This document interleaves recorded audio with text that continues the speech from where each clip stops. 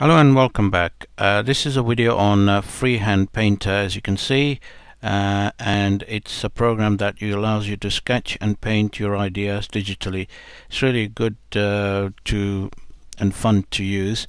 Uh, I tested it but I want to show you how it works uh, after downloading and installing it and going through that. It's absolutely free. You can get it from deskshare.com and really it's um, looking at this website and page it's ideal for and easy to use on a touchscreen PC so that's that's where you can use the hand. But uh, this is on a Windows 7 machine 32-bit uh, and and as you can see it works on Windows 7 XP Vista uh, and uh, this is version 0.7 and it's free. Uh, you can download it from here and I'm gonna give it a go and see what it does. I'm just gonna open the uh, and I've already downloaded it and that's how big it is. So let's minimize that and go through the steps. Run it and obviously it asks for a admin password because I'm logged in as user.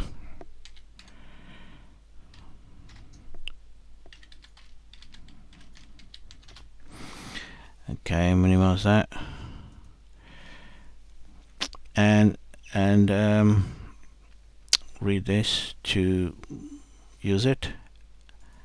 Agree and I'm quite happy with that. Create a shortcut on your desktop. And that's it. It fills the whole screen and and it's fun to use. As you can there it is. This is what it looks like. Freehand painter.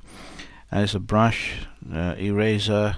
All the instructions are on the website. There's an online help. And um, yeah so and the color plate there and undo uh, does that.